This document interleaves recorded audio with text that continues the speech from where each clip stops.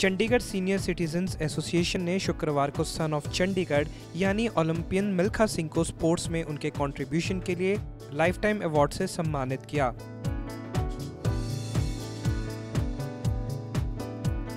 मिल्खा सिंह एक जीती जागती इंस्पिरेशन है। इनकी कहानी अब लोगों तक पहुंचेगी फ़िल्म भाग मिल्खा भाग के ज़रिए। इन्होंने अपनी कहानी के लिए सिर्फ़ एक रुपया लिया है और खुद मिल्खा सिंह फरहान के काम और गेटअप से काफ़ी खुश हैं। मैंने स्टोरी जो दी है उनको, ये तो सब दुनिया को मालूम है, रोज़ अखबारों में भी आ रहा है कि ये स्टोरी जो मैंने दी है, एक रुपए में दी है। हालाँकि मुझे करोड़ों रुपए ऑफ़र हो रहे थे इस स्टोरी के लिए, मैंने इनकार कर दिया लेने से। तो ये जो फ़रहान अख्तर काम कर रहा है, बहुत ही अच्छा काम किया उसने।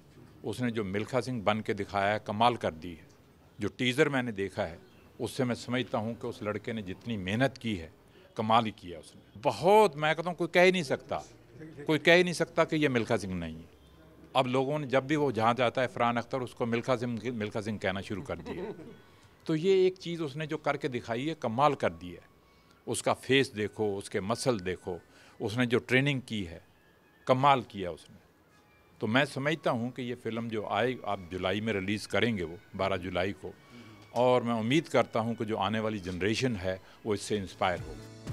इन्हें उम्मीद है कि आने वाली जनरेशन इस फ़िल्म से काफ़ी इंस्पायर होगी। कैमरामैन विनीत भारद्वाज और कमलजीत कौर बाबा के साथ Jaideep Mitra day and night news Chandigarh खबरों की दुनिया में आइए। हमारे साथ कहीं भी और कभी भी जुड़िए। हम मिलेंगे फेसबुक पर। हम दिखेंगे यूट्यूब पर। हमें फॉलो कीजिए ट्विटर पर। खबरों के साथ बने रहिए रात दिन।